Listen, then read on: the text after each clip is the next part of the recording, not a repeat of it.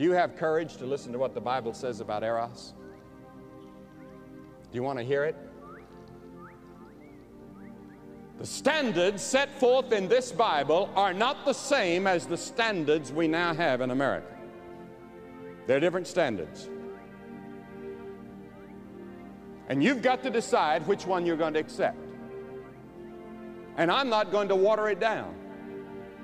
I'm going to tell it to you like the Bible tells it. The Bible says that immorality is sin. But the Bible also indicates that sex is not a sin. It's the wrong use of sex that's sin. Many ancient and many modern writers have held the idea that the body is evil. George Bernard Shaw once wrote about the tyranny of the flesh. Plato thought that the body was evil. But the body is not evil. The Bible teaches that your body is sacred. The Bible teaches that for the Christian, that it's the temple of the Holy Spirit. And that includes your sex as well as every other part of your life.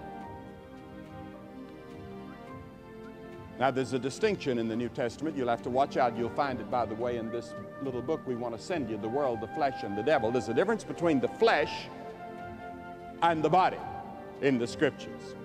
But a wrong view of the body was responsible, in my judgment, for the suppression of discussions of sex and sex in the last century that I think caused a great deal of harm. I think there's something good about what we've seen, but we've gone too far in our openness about this subject. It ought to be discussed, it ought to be preached about, and the Word of God should be proclaimed on this subject because all the way through the Scriptures we have the teachings of God on the subject of sex.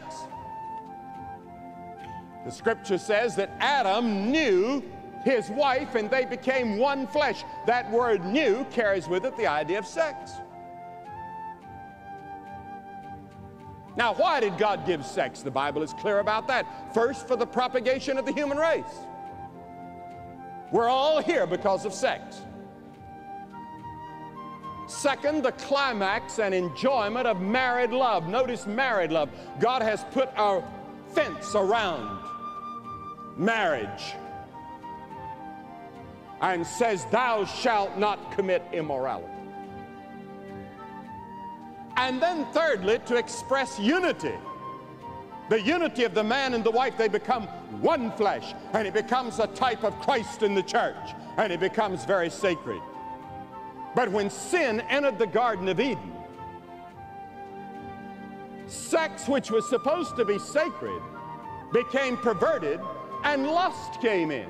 So that today, something that was supposed to be sacred and wonderful and glorious has been perverted into lust and has become sin. Now, why does God say, Thou shalt not commit immorality? To protect your future marriage. Secondly, to protect your body. You say, Well, my body doesn't need protecting. Don't think it doesn't. VD is sweeping the country. Illegitimacy has doubled in the last two or three years. In spite of all the pills and in spite of all the advance in medicine, it's getting worse instead of better. Thirdly, to protect you psychologically.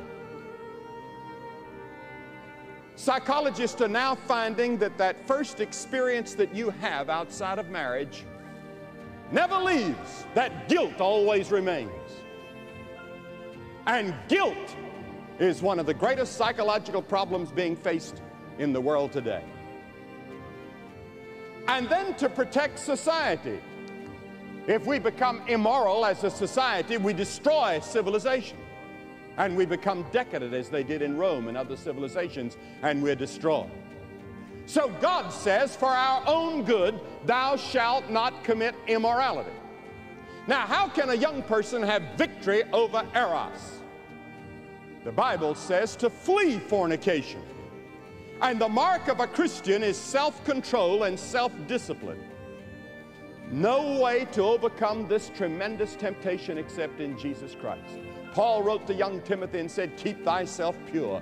You cannot live pure in 1973 or 1974 apart from Jesus Christ. He can give you the strength and the power and the victory to live a pure life. He will help you to flee fornication.